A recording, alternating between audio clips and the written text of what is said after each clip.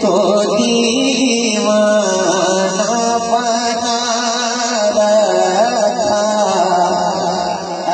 जिस जिसको दीवाना बनाया जरा सीधा हाथ हाथ, बल्कि दोनों हाथ उठा कर लहरा कर है। उनकी आमद उनकी आमद तो